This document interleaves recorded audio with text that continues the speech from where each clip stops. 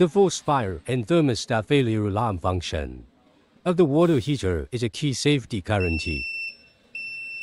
When the system detects a false fire phenomenon or an abnormal thermostat, the alarm system will immediately sound an alarm to remind the user. This function can effectively prevent potential safety hazards and ensure the normal operation of the equipment and the safety of users.